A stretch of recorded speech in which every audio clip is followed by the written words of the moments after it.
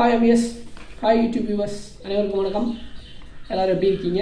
நம்ம நிறைய ஆன்லைன் சர்வீஸும் சென்ட்ரல் கவர்மெண்ட்டோடைய அப்டேட்ஸும் ஹியூமன் எக்ஸலன்ஸோடைய இன்ஃபர்மேஷனும் கொடுத்துக்கிட்டு இருக்கோம். சப்ஸ்கிரைபர்ஸ் நிறையா இருக்கீங்க. உங்களுக்கு ரொம்ப தேங்க்ஸ் உங்களுடைய சப்ஸ்கிரைப்னால தான் எங்களோட சேனல் மேலும் வளர்ந்துக்கிட்டு இருக்கு. புதுசாக பார்த்துட்டு இருக்க நம்மளோட நண்பர்கள் மறக்காமல் எங்களோட சேனலை நீங்கள் சப்ஸ்கிரைப் பண்ணிக்கிங்க.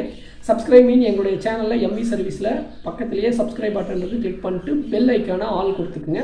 அடுத்தடுத்து நாங்கள் போடக்கூடிய எல்லா வீடியோவும் உங்களோட நோட்டிஃபிகேஷனுக்கு வரும். ஏற்கனவே நாங்கள் போட்டிருக்க வீடியோவை நீங்கள் பார்க்கலாம். ஓகே இன்றைக்கி நான் ஒரு முக்கியமான சப்ஜெக்ட் சொல்கிறேங்க என்னென்னு பார்த்தீங்கன்னா பூமியை நோக்கி ஒரு பெரிய விண்கல் வரதா வந்து ஒரு தகவல் கொடுத்துருக்காங்க. நீங்கள் லாஸ்ட்டு ஒரு டூ இயர்ஸ் பேக் ஜெயம் ரவியோட மூவி பார்த்துருந்தீங்கன்னா உங்களுக்கு இது நான் சொல்கிற கான்செப்ட் சேம் ரிலேட்டட் தான். டிக் டிக் டிக்னு ஒரு மூவி அதில் ஒரு ஜெயம் ரவி பண்ண அந்த கான்செப்ட் என்னன்னு பார்த்தீங்கன்னா பூமியை நோக்கி ஒரு எரிகல் வருது. அது நம்ம பூமியை வந்து தாக்காமல் எப்படி ராக்கெட் மூலமாக வந்து அதை வந்து பிரித்து நம்ம பூமியை சேவ் பண்ணோம் அப்படிங்கிற ஒரு கான்செப்டை ரொம்ப அழகாக கொடுத்துருப்பாங்க. சேம் அது வந்து ரியலாக எடுத்த சப்ஜெக்ட் மாதிரி தான் இருக்கும். அந்த ரியல் சப்ஜெக்ட் உண்மையாகவே நம்ம பூமியில் நடக்க போகுது. எப்படின்னு சொல்கிறேன் கேளுங்க. பூமி நோக்கி வரும் அணுகுண்டு வந்து மிகவும் மோசமான விண்கல். அது வந்து சீனா வந்து அதை அழிக்கிறதுக்கு தீவிரம் காட்டிகிட்டு இருக்காங்க. நம்ம பூமியை பொறுத்த வரைக்கும் மேலே விண்கலத்தில் ஏகப்பட்ட அதிசயங்கள் இருக்குது அதில் நல்லதும் இருக்கும் கெட்டதும் இருக்குது பட் இப்போ இங்கே வரக்கூடிய ஒரு பிரம்மாண்டமான ஒரு விண்கல் வந்து எட்டு புள்ளி அஞ்சு கோடி டன் எடை கொண்ட அந்த விண்கல் வந்து விரைவில் வரப்போகுது. அது என்னங்கிறது நான் எக்ஸ்பிளைன் பண்ணுறேன் அந்த விண்கலோட பேர் வந்து பார்த்தீங்கன்னா பென்னு. இது வந்து கடந்த ஆயிரத்தி தொள்ளாயிரத்தி தொண்ணூத்தொன்பதாம் ஆண்டு நம்ம விஞ்ஞானிகளால் கண்டுபிடிக்கப்பட்டது. இந்த விண்வெளி வந்து இந்த விண் விண்ணு வந்து விண்வெளி குப்பை என்று அழைக்கின்றனர். இந்த விண்வெளியில் இது ஒரு குப்பைங்கிறாங்க. ஆனால் அது வந்து விழுந்துச்சுன்னா என்ன ஆகுங்கிறத நான் உங்களுக்கு எக்ஸ்பிளைன் பண்ணுறேன் பாருங்க.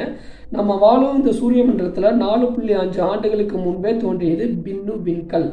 பூமியின் உயிரினங்கள் தோன்றிய அதே காலகட்டத்தில் இந்த விண்கல்லும் தோன்றியதாக விஞ்ஞானிகள் சொல்கிறாங்க எனவே இதில் ஏராளம் ஏராளமான அதிசயங்கள் நிறைஞ்சிருக்கு அதாவது பூமி பூமியில் இருப்பதை விட பல மடங்கு தங்கம் பிளாட்டினம் எக்ஸட்ரா என்னென்னமோ இந்த பின்னு விண்கலத்தில் மேற்பரப்பில் படிஞ்சிருக்கு.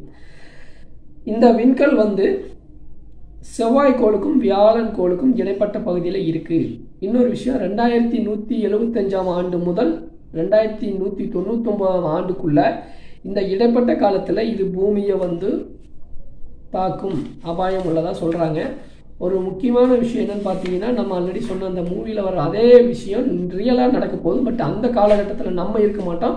பட் அதை சேவ் பண்ணுறதுக்கு நம்ம இப்போ இருந்தே வந்து அவேர்னஸ் கொடுத்துக்கிட்டு இருக்கோம். விஞ்ஞானிகள் வந்து ஒரு வேளை இது பூமியை தாக்குச்சுன்னா ஆயிரத்தி இரநூறு மெகாவாட் டன் ஆற்றல் வெளிப்படும் சொல்கிறாங்க எப்படின்னு பார்த்தீங்கன்னா ஜப்பானில் வந்து நீங்கள் ஹிரோஷிமாவில் வீசப்பட்ட அணுகுண்டோடைய ஆற்றலை விட எண்பதாயிரம் மடங்கு அதிகமாக இருக்கும். இதன் மூலம் பூமியில் எதிர்பாராத பெரும் சேதம் ஏற்படும் என அஞ்சப்படுகிறது. எனவே பின்னு விண்கல் சிறுகோளை தவிர தற்போது அழிக்க அந்த சிறுகோளை தற்போது அழிக்க சீனாவை சேர்ந்த விஞ்ஞானிகள் திட்டமிட்டுள்ளனர். நல்ல விஷயம். என்னன்னா இந்த விஷயத்தை அவங்க இப்போ இருந்தே ஃபாலோ பண்ணுறப்ப ஃப்யூச்சரில் அடுத்து வரக்கூடிய ரெண்டாயிரத்தி நூற்றி எழுபத்தஞ்சாம் ஆண்டு இருக்கிற மக்கள் வந்து சேஃப் ஆவாங்க அப்படின்னு சொல்கிறாங்க ஏற்கனவே வந்து சீனா வந்து கொரோனா வைரஸை கொண்டு வந்தாங்கன்னு சொல்லி தான் ட்ரம்ப் நிறையா ஆர்குமெண்ட்ஸ் பண்ணி அது இன்னும் ஒரு ஸ்டேஜ் முடியல. ஸோ இப்போ அவங்க இந்த அடுத்த இந்த ப்ராசஸ்க்குள்ளே இறங்கி அதை நல்லபடியாக முடிச்சு தரணுங்கிறது நம்மளுடைய ஆசை. எந்த அளவுக்கு அது உண்மையாகுங்கிறத பொறுத்திருந்து பார்ப்போம்.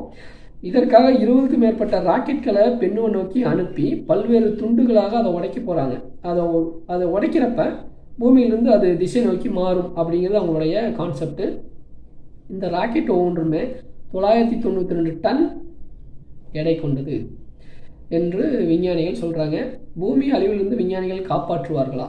சீனா வந்து இந்த விஷயத்தில் சக்ஸஸ் ஆகுமா? ஆனால் இந்த பின்னு விண் இந்த பின்னு விண்கல் சிறு கோளுங்கிறாங்க. கூடிய விரைவில் பூமியை வந்து தாக்குங்கிறாங்க.